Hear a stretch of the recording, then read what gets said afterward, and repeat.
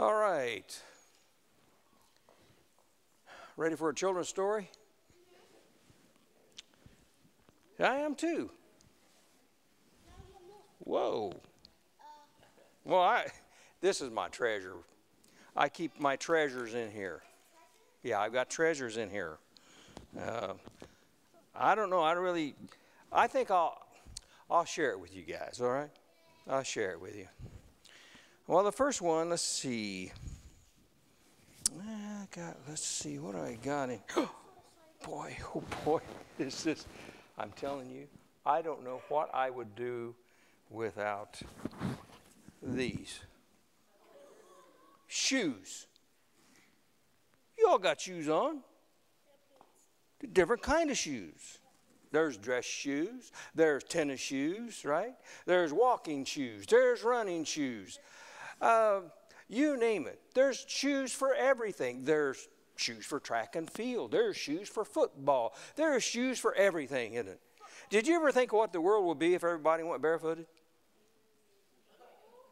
Ooh, I'm telling you, we'd have a lot of foot problems, wouldn't we? But you know, when I was young, I used to go barefooted all the time. When in the spring and the summer, I could not wait to get my shoes off. But you know what I was always doing? I was getting thorns in my feet. Yeah, had to get those thorns out. Or I would stub my big toe all the time. But you know, I grew up and I just love these things. Shoes, that's, that's one of my treasures. Now, I got some more treasures in here. Let's see, what do we got in here? Let's see. Oh, my. Let's see. Oh. Hmm. What's that remind you of?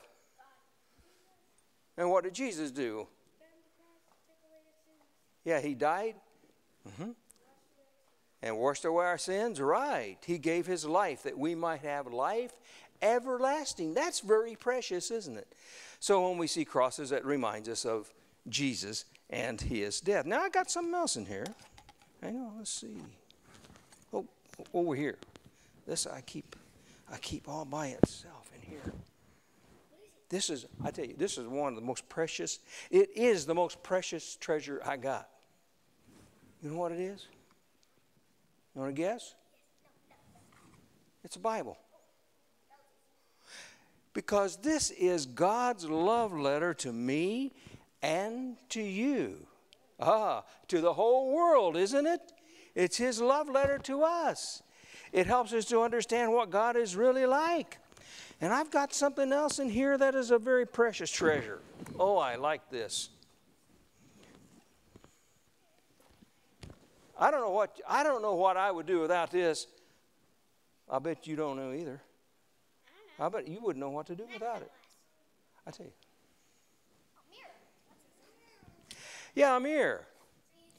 Mirror, yeah. Have you ever stood in front of a mirror and uh, made fun? Funny faces? Yeah, right. Make some. Yeah, right. Make some. Look really scared. you do that? He's got a big smile on his face.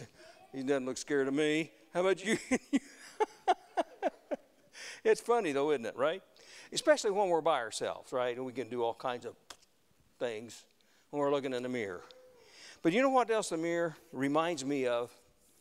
It reminds me of God's love. How He loves everybody. Do you know that?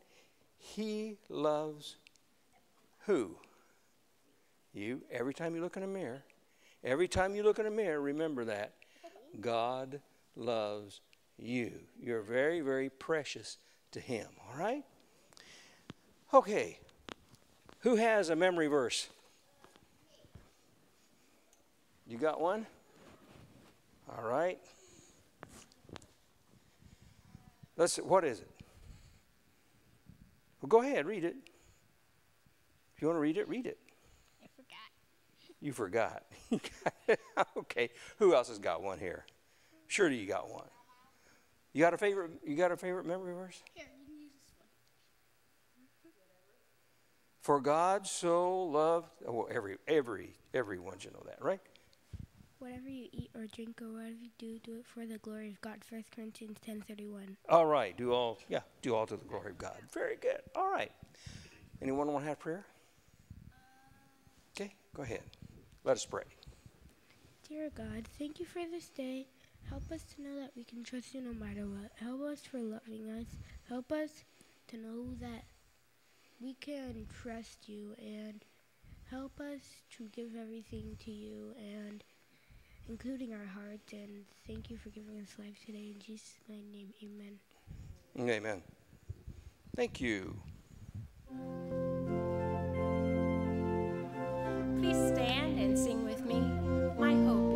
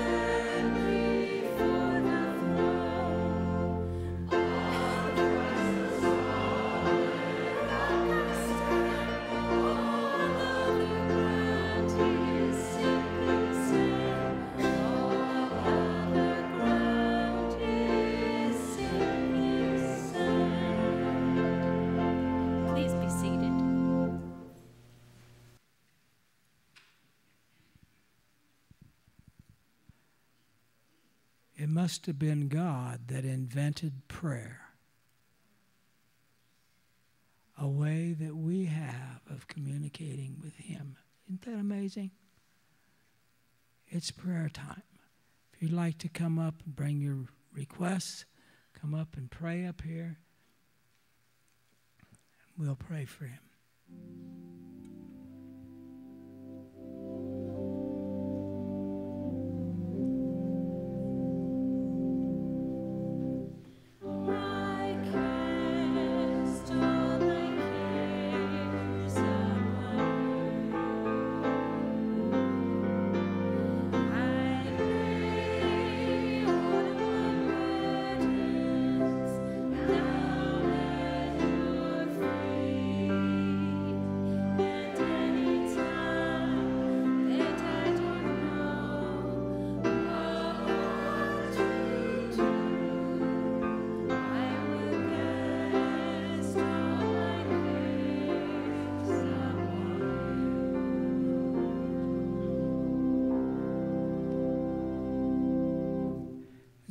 Possible, let us kneel for prayer.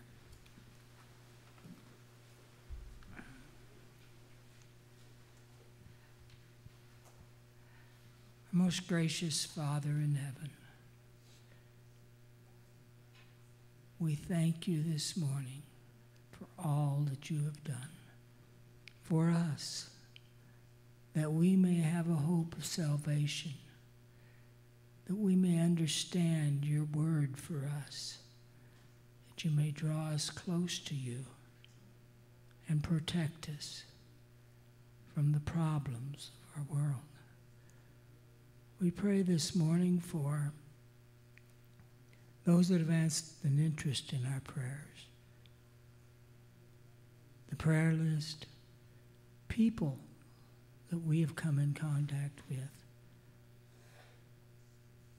that look to you for help in this time of trouble.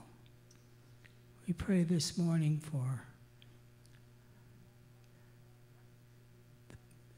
our friends, our neighbors, our relatives, our kids,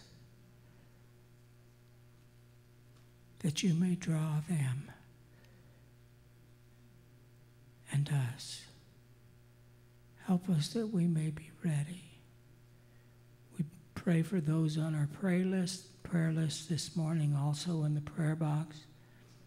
We pray this morning for our pastor as he breaks your word to us today. May it be your words. May we understand your plan for our lives. May we be ready for you when you come to save us. May that day be soon. For Jesus' sake. Amen.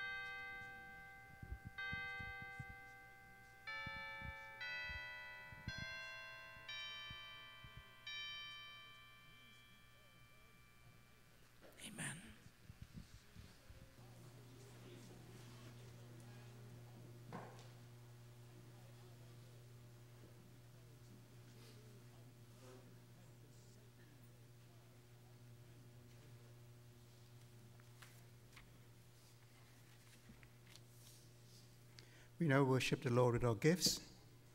And today the special offering is for local church budget. That means the budget takes care of all the needs of this, of this church. So I want to encourage you to give and to give as much as you can so that we could continue to run here as a church to uh, honor the Lord in this area so that one day he'd come to take us home. The deacon is now waiting us for tithes and our people offering. But let us bow our heads as we have a prayer together.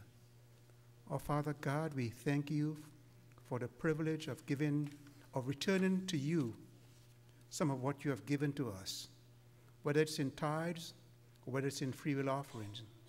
Bless these offerings, Father, and may they be used to glorify your name so that your kingdom could come and we could all be home to be with you forever. Is our prayer this morning in Jesus' name. Amen.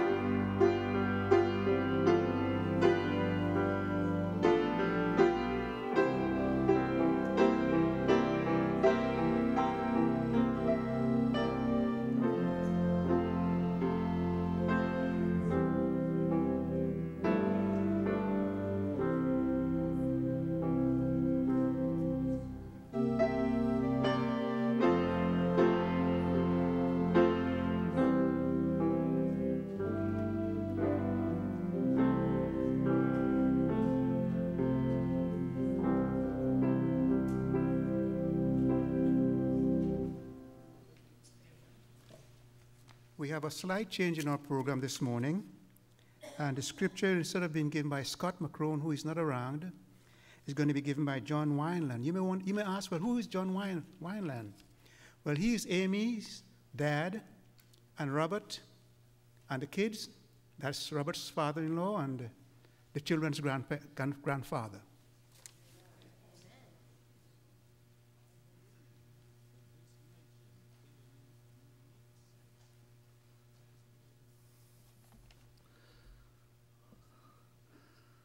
Know, my wife told me I'd better bring the, uh, the Bible up here. but I told her I didn't bring my glasses. I was going to have to depend on this device. And uh, wouldn't you know, it disappeared before I got up here. But anyway, we'll find it here. the scripture is Hebrews 10 24 and 25. And I'll be reading from the New King James Version. And let us consider one another in order to stir up love and good works, not forsaking the assembling of ourselves together as a manner of some, but exhorting one another, and so much the more as you see the day approaching. May the Lord add his blessing to the reading of his word. Amen. Please remain seated while we sing, O Master, let me walk with thee.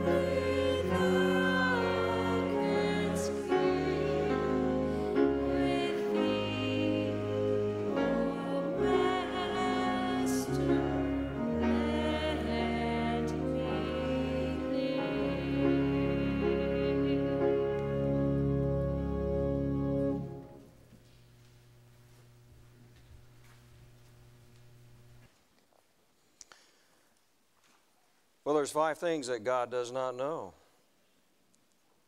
And I believe that you know what they are. Let's say them together.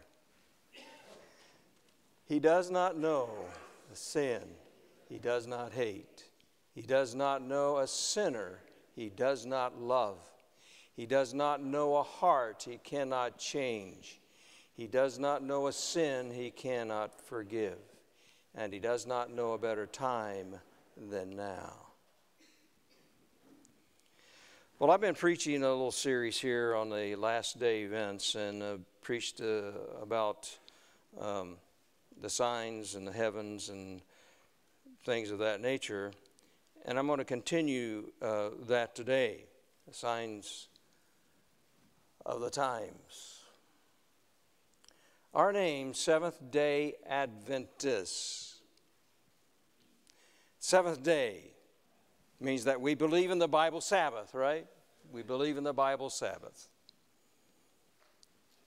And that's why we're here today. There are believers here that this is indeed a sacred day. We also believe in the second advent of Jesus, correct? And we've often said, and trying to prepare people for the second coming, that it's very soon. As that I pointed out last week, there are people who today believe in other theories and beliefs. But nevertheless, by looking at the signs of the times, and Seventh day Adventists have been preaching about this for well over 100 years, right? The second coming of Jesus. I also pointed out that every generation believes that their generation fits the description that Jesus gave of the end time events. Or as theologians call it, eschatology, which means end time events, prophecy concerning the end time. the return of Jesus Christ. And so that there are many voices, however, who counter what Jesus said. They say that, well, you know, that this earth was came into existence through an evolutionary process. And it took millions of years. And there are scientists who actually believe that theory. Actually, it takes more faith to believe that than it does in a creator. Because they say this all started through one little chemistry, you know, thing of lightning and some proteins or something like that. You know, I mean, they have all kinds of theories. Or, and some of them believe that, well, you know, so many millions of years ago, our Earth was visited by aliens from outer space, probably from another galaxy, even. And you know, they wanted to put life on this planet because they saw that life could exist here. And so they just dropped off a little piece of bacteria or something. And so it took millions of years through the evolutionary process. And finally, intelligence came human beings. What a miracle that is, huh? But I think, and I believe, what the Bible says, that they are fools if they do not believe in the Creator. Because all of the evidence is there, and more evidence is shining forth every day that there is an intelligence behind this reality that we're living in. Every reality has some kind of intelligence behind it. That's what the natural rule tells me. I don't know about you, but that's what it tells me. Even before I was a Christian, even before I knew Jesus Christ, as a young person, as a child, I knew that these things did not just happen. And as I grew older, as a teenager, I was even more convinced that there has to be a creator God who created all of this. In other words, it was the Holy Spirit who was communicating with me and telling me, Norman, there is an intelligence behind this world, the creation of this world. It only makes common sense. How ridiculous it is for scientists to say that things just happen to be. They just came as a result of the evolutionary process and looking around in our own solar system at Mars and think, well, it once had water on it. That's what they're saying. And hopefully, we will find some kind of maybe bacteria, some sign of life. I don't know. I've never been to Mars. You ever been to Mars? I really don't want to go to Mars. So, anyway, they have all of these theories. It's like looking, as I said before, and I say it again, it's like looking at the parking lot out here, and you see all of these automobiles, trucks, and you look and you say, hey, they just happened to be. They just came into existence. Isn't that marvelous? You look, all the different kinds. Well, you have different kinds of animals, do you not? Different species, different kinds of animals. You have different kinds of trees. You have different kinds of bushes, different kinds of grasses, different kinds of flowers. You have all of those things. They just happen to be, well, the cars and the trucks, all of those just happened to come into existence. Do you believe that? They just didn't come through, eh, eh, come into existence through an evolutionary process, in other words. There is an intelligence behind that reality. And we all know that. There is an intelligence behind our telephones, right? Where's my telephone at? Right here it is. A computer. Can you imagine that? I could not imagine a telephone like this when I was young. Never thought I would have a computer with a phone. What would you do without your phone?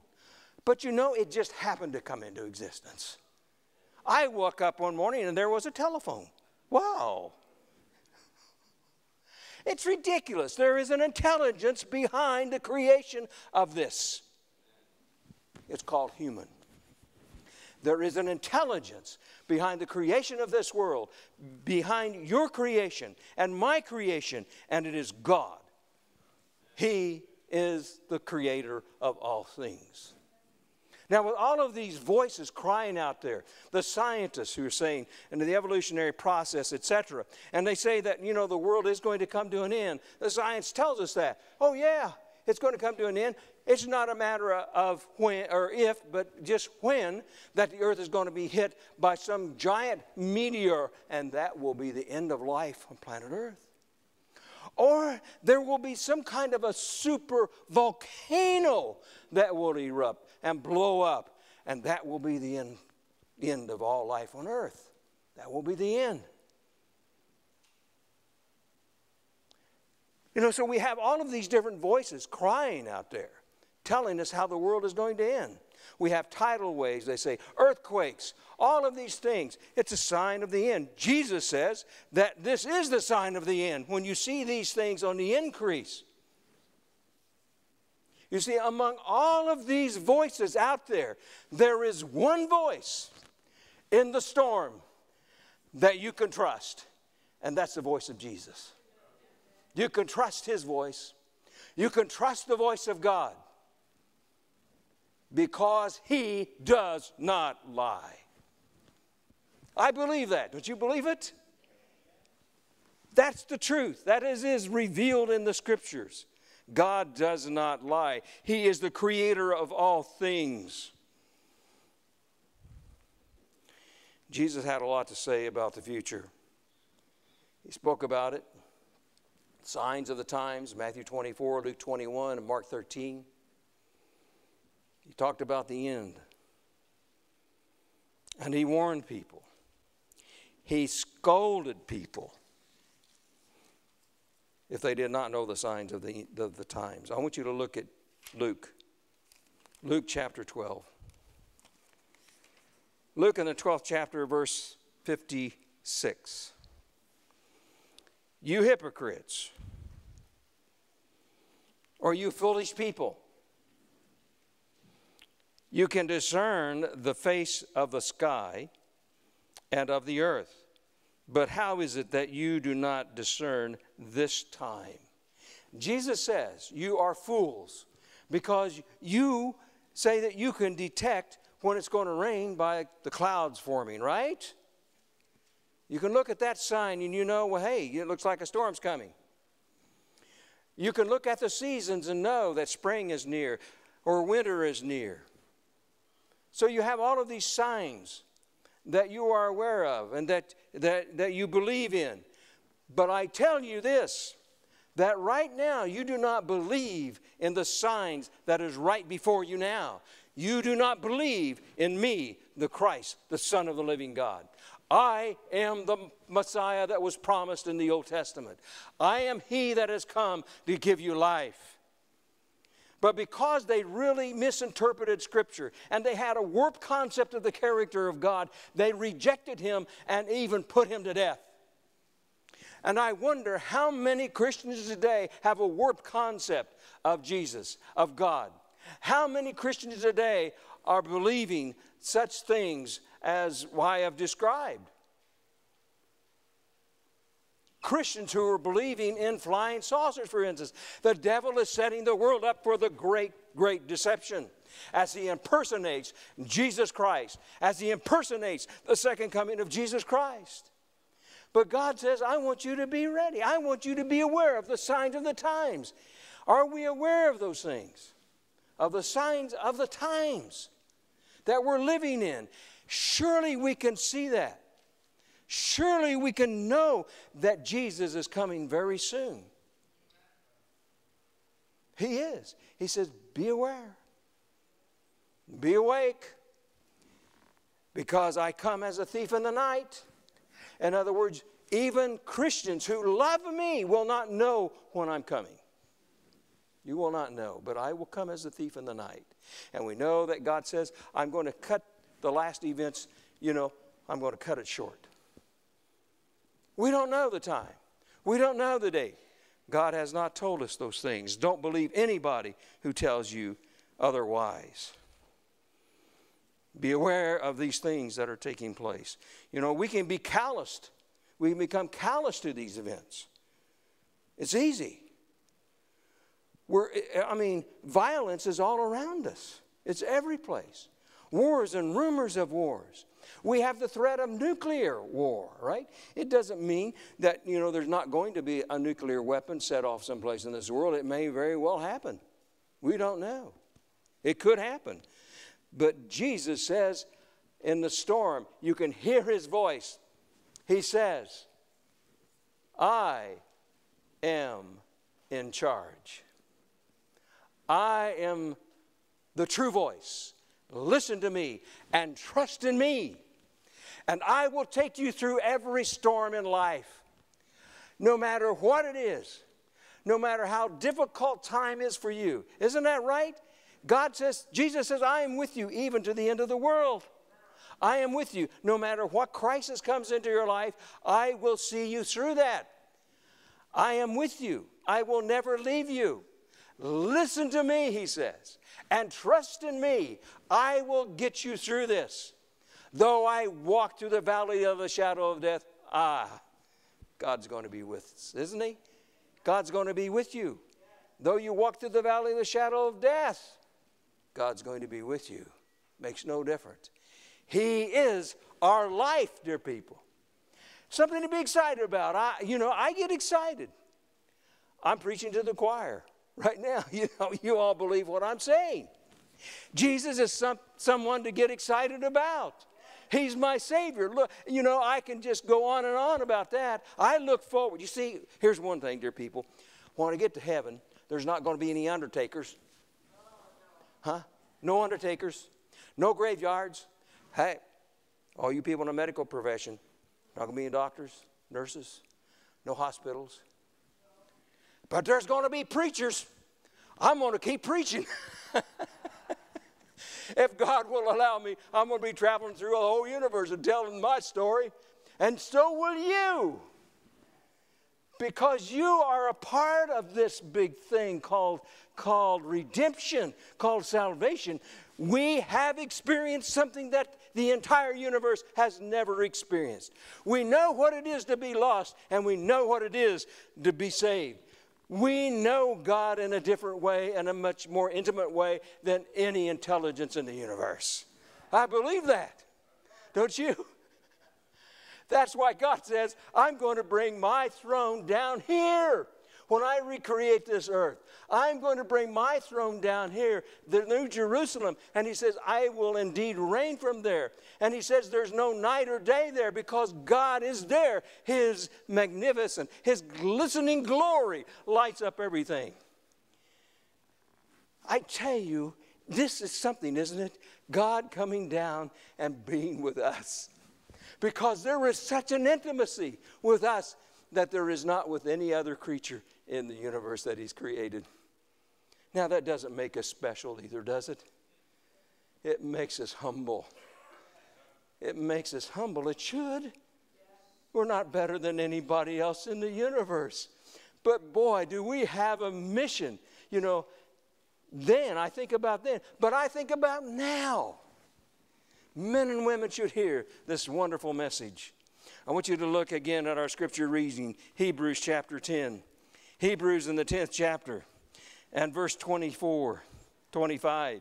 And let us consider one another to provoke unto love and to good works. In other words, we come to church to encourage one another. That's what Christians are to do, right? To encourage one another. It is through you that I gain strength. I look forward to coming here and fellowshipping with you. And do you know what? A preacher who, who's been to college. I have a BA in theology. I have a master's in divinity. If there's such a thing, yes, I do. But listen, I learn a lot from you people. You know, you'd be amazed. Sometimes I just, I'm just, oh, I've never heard of that. That's a new thought, you know, that you come up with many times, you see. So we grow together, right? We're to grow together spiritually. We're to become more like Jesus Christ.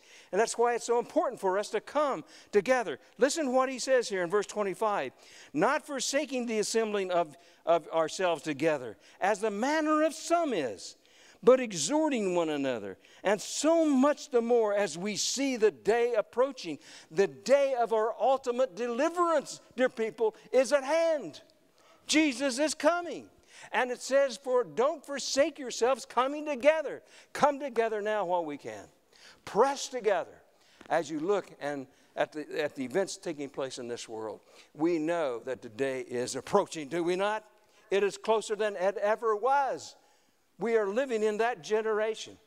I don't know when Jesus is coming. I wouldn't tell you that he's coming in five years. I wouldn't tell you he's coming in 50. You know, some Christians may think that it's not important, these last time events, it's not important.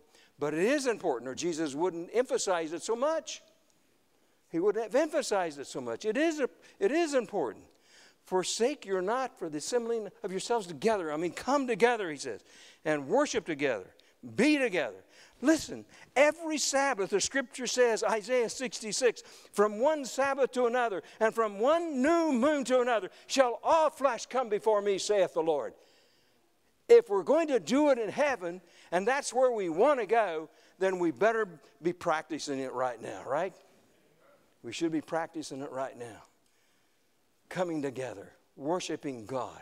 This is a blessed experience, coming together and worshiping Him, coming together and exhorting one another and encouraging one another in the Christian faith and helping one another.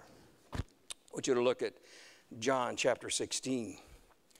And this is uh, another chapter. Jesus is talking about the coming of the Holy Spirit. He's going to be leaving. He's going to be leaving. So he talks about the coming of the Holy Spirit. He talks about he's going away to the Father. It's actually about his death and his resurrection and so forth. But here he is in John chapter 16 and verse 33. He says, These things have I spoken unto you, that in me you might have peace. In the world you shall have tribulation but be of good cheer. I have overcome the world. That's his voice speaking to us. That's his voice speaking to the whole world. No matter what you see, these events that are taking place, he says, be of good cheer. Huh? Can you be of good cheer? That's what Jesus says be of good cheer. Be of good cheer because I have overcome the world. You're going to overcome the world, and I'm going to be with you. I will take you through every difficulty in your life, no matter what it is. You just trust in me, believe in me. I'll take care of your problems. Anything that you need, you ask the Father, he says, and he'll give it to you. Now, he doesn't say when he's going to give it to us, right? that doesn't mean praying for new cars and all that kind of stuff. He just promises, I'll give you what you need. I'll give you what you need not what you want necessarily, but I'll give you what you need. And sometimes He even gives us what we want. right? He does. It's amazing. Our Heavenly Father is just so tremendous. Hey, you know, this wonderful message that we have as Seven day Adventists, this beautiful gospel that we have, we need to be proclaiming it with power and great glory, and that only comes by the outpouring of the Holy Spirit in our lives. The only way. We really lack that. We really do need it. Jesus says, I am with you always, even to the end of the world. Hard times are coming. Really hard times are coming. I want you to look at Matthew, or Daniel. And Daniel and chapter, the last chapter of Daniel, Daniel chapter 12. And I want you to look at uh, the last, uh, or the first few verses here of, of Daniel chapter 12. And he says this At that time shall Michael stand up. Who is Michael? A lot of Christians say, when you say that's Jesus, and really it's prophetically proven. I mean, you can prove it from Scripture that he is called Michael. Uh, some Christians don't believe that. You know, well, it's not Michael, it's an angel. But no, it's Michael. Shall Michael stand up, the great prince, which standeth for the children of thy people? Who's standing for us? Is it an angel? Is it Gabriel? Who's standing for us? Who's representing us? Jesus. So he is Michael. I don't have time to go into that to prove that. Maybe someday I will. And there shall be a time of trouble, he says, such as never was since there was a nation. Even to that same time, and at that time thy people shall be delivered, every one that shall be found written in the book, the book of life. Your name is written there, dear people. Your name is in the book of life. Cheer up, Jesus says. Cheer up. No matter how hard times get, I'm going to be with you. I'm never going to leave you. Just trust in me. Have faith in me, and I'll take you through. I'll take you through this time of trouble. And he goes on to say this And many of them that sleep in the dust of the earth shall awake. I thought everyone went to heaven when they died. No, everyone is really dead. Their whole identity, who they are, is in the mind of God.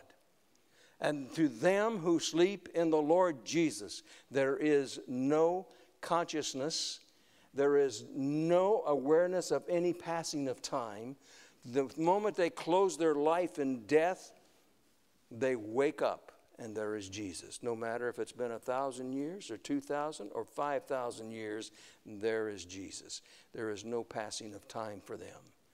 But Jesus has your identity in his mind right now. God has you in his mind. Never forget that. Jesus says that I am the resurrection and the life, and when I come back, I will resurrect the dead in Christ. And he says, And many of them that sleep in the dust of the earth shall awake, some to everlasting life, and some to shame and everlasting contempt. And they that be wise shall shine as the brightness of the firmament, and that they, uh, they that turn many to righteousness as the stars forever and ever. That's it. That's the beauty of the gospel. There is hope, dear people, eternal life in Jesus Christ, and He is the only one that you will find eternal life in. He is the only voice that you must listen to. Don't listen to the other voices out there. Don't listen to the so called evidence, but listen to what Jesus says in the scriptures. Listen to what God says throughout the scriptures. The gospel, you see, the good news. That's what is it all about Jesus, isn't it? It's about the character of God, of really knowing Him. That's what we are to be about as Seventh day Adventists. We are to be preaching Jesus Christ. And we are to draw closer and closer to Him so that people will recognize the character of God in our lives. I believe that. It doesn't mean that Norman Bassett's ever going to be perfect in this world. Jesus is my righteousness. He is my salvation. He is my everything. He is my life. He has my heart, and I have His heart. That's the way it should be. Seventh day Adventists should be a people, if we really believe that we have a special message to give to this world, then there should be a difference here in the life of Seventh day Adventist Christians. Right? There should be. And I'm telling you, that's what God wants us to proclaim to the entire world about Him. That's what the gospel is all about, dear people. It's about God, it's about His character. Goodwill, peace on earth and goodwill towards men. That's what God is saying. I did not come here to condemn, Jesus said. I came to save you. I came to save the world. That's what he says. And there is hope, yes. It's just not only the forgiveness of sins, but there is a change in the heart. There's a change in the human nature when we come to Christ and give our lives to Him. That's what the world has to understand. He alone can deliver us from this world of sin and degradation. He alone can give us eternal life. And he promises that. To you who love me, I give you eternal life. Lo, I come quickly, and my reward is with me to give every man and woman what they deserve, right? How can people reject such great salvation? Is beyond me. I don't understand it. But I believe that in the, all of this dark, darkened world, there is a light shining even now. And it is the truth about God and what He is all about. And that He, Jesus Christ, is coming back very, very soon. He is going to put an end to all the sickness and suffering. It will never be again. The reality of this world will soon be over, and we'll be in another reality. It will be an eternal reality. And we will live with God forever and ever and ever.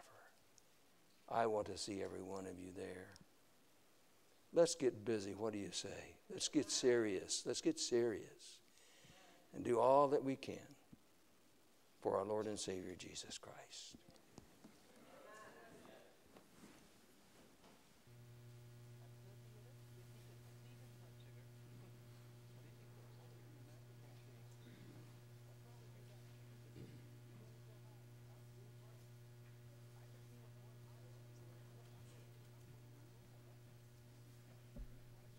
Please stand and sing with me. He lives. Hymn number 251.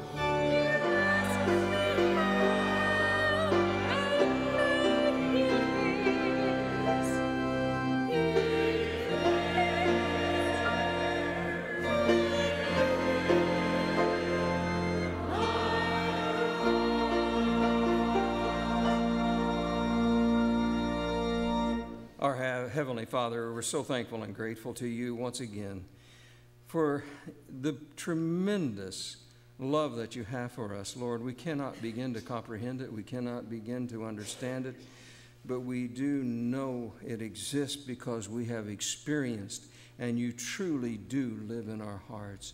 Father, I pray that each of us will continue in our journey, in our spiritual journey, and that, Lord, that we might indeed, by beholding you, reflect the beautiful graces that we see in our Lord and Savior Jesus Christ.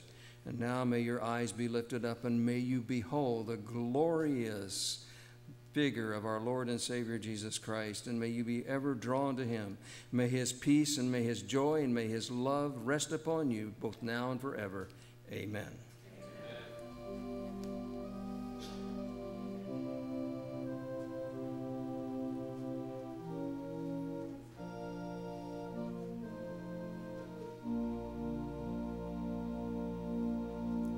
Dismissed.